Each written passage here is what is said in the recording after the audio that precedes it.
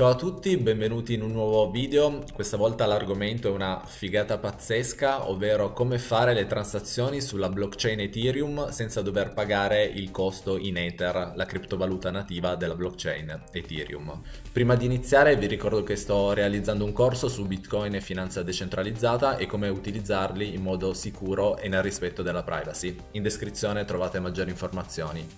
Allora, l'argomento del giorno è secondo me molto interessante perché è una delle motivazioni per le quali è difficile per una persona che non utilizza criptovalute avere a che fare con i token, doverli trasferire e cose di questo tipo. In realtà è una problematica non solo della rete Ethereum ma anche di altre blockchain. La stessa cosa accade su Bitcoin, quando vogliamo fare una transazione in Bitcoin Lightning Network c'è bisogno già di avere dei Bitcoin per aprire un canale e fare quel tipo di, di transazioni. Accade anche su iOS, possiamo sì fare le transazioni gratuite su iOS, ma dobbiamo pagare in iOS i costi per la CPU, la NET e la RAM e quindi una persona che eh, si avvicina per la prima volta ai token e alle criptovalute eh, trova difficoltà perché ha bisogno non solo del token che magari gli viene regalato o dato, ma ha bisogno della criptovaluta nativa per poter fare transazioni su una certa blockchain. E grazie all'argomento di oggi, le metatransazioni sulla blockchain Ethereum,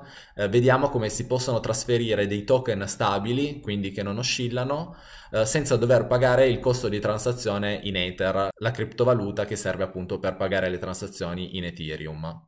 Il progetto in questione è questo qui, Gasless, e a differenza di altri approcci che ci sono stati in passato, uh, l'approccio più interessante è che questo uh, wallet gasless uh, ci permette appunto di fare transazioni in un modo non custodial, quindi noi possiamo utilizzare i wallet che siamo abitualmente abituati a, ad usare, per esempio Metamask che è l'estensione per il browser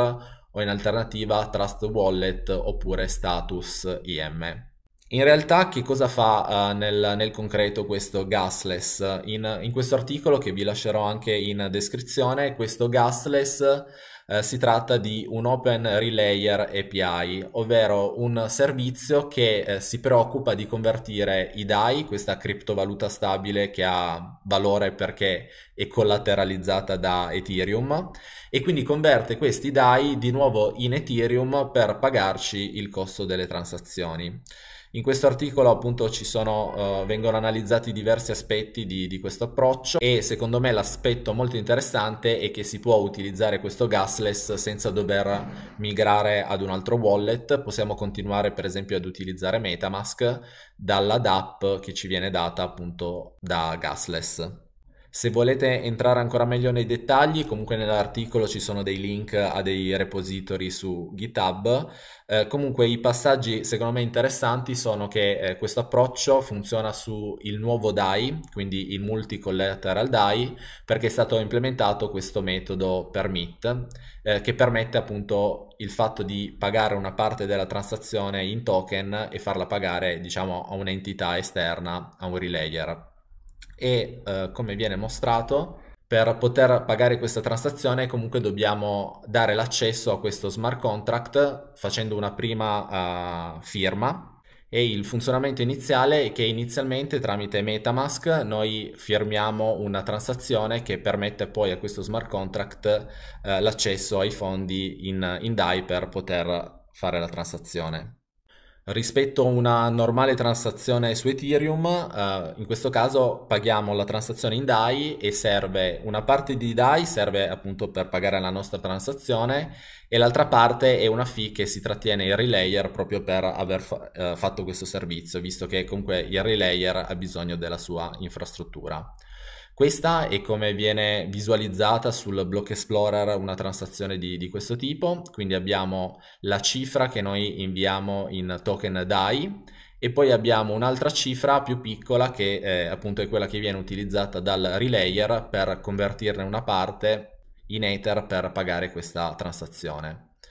Eh, che dire, io stesso ho provato questo servizio per vedere effettivamente come funziona e se funziona. Ha funzionato, mi sono inviato appunto 9,91 DAI Dopodiché ho eh, rinviato una parte di, di questi DAI e eh, su questo wallet appunto non c'era assolutamente nessuna quantità di Ethereum e non c'è mai stata nessuna quantità di Ethereum. E eh, come vedete una parte di DAI